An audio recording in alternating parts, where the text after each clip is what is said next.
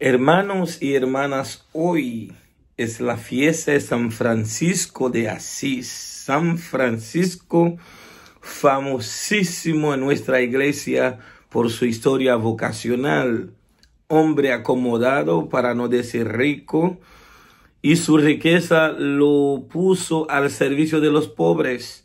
Dejó su comodidad de familia, de la casa, para dedicarse a los pobres, a enseñarlos, a acompañarlos, a ayudarle a comer y a vestirse. Y se revistió el mismo del traje, de, del traje de la humildad, de la sencillez para seguir a Jesucristo. Y lo conocemos en mucha parte en lengua, cultura, con esa famosa oración, la famosa oración de San Francisco de Asís, hazme Señor instrumento de tu paz hazme instrumento de tu paz. Donde haya odio, pongo yo amor. Donde haya duda, pongo yo la fe. Donde haya desesperanza, pongo yo la esperanza. Donde haya tinieblas, que ponga yo la luz. Maestro, ayúdame a consolar, sino ayúdame a hacer luz.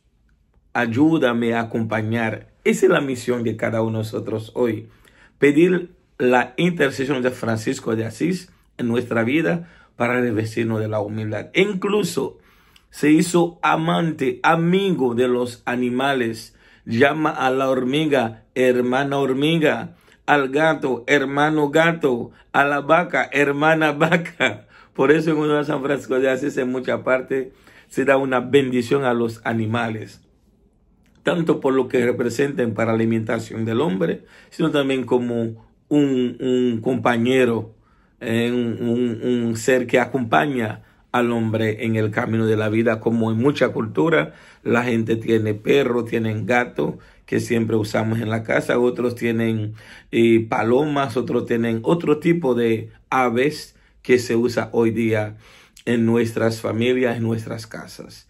Que San Francisco intercede por cada uno y cada una y hace de nosotros instrumento de su amor. Que no busquemos que nos aman, sino que nos preocupemos para amar a los demás.